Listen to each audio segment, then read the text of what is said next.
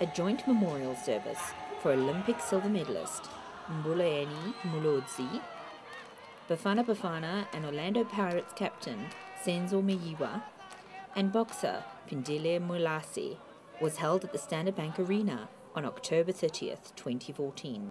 The venue was packed to the rafters as South Africans from all walks of life came to pay their respects and celebrate the lives of their fallen sporting heroes.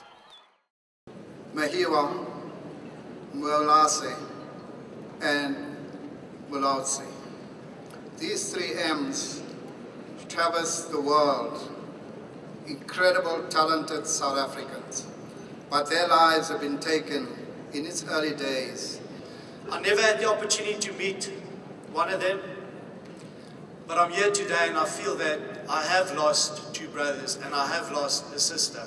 Let these lives not go down unnoticed. Let's keep on fighting for this country and let make, let's make their lives and their names live on forever. Ubuntu, humanity, brought us here together. Senzo was one of the young and upcoming stars of our national team, Bafana Bafana. And to Senzo Meyiwa's us. South Africa, it is our task. They can run, but they will not hide. We will find them. When we read and write books about the history of sport in South Africa, Mulaudzi will be number one. And therefore, as we bid farewell to him today, we know for a fact that he will not be forgotten.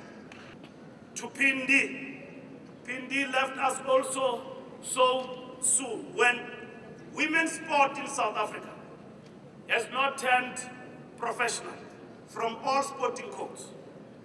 And Phindi in their own right was a very, very talented young person. We are going next year, which we have started now, to construct a hall of fame for all our sporting athletes in South Africa. And uh, each athlete who perform according to their standard will be inducted in the hall of fame. And these athletes will be among the first to be inducted in that hall of fame and those who passed on in South Africa.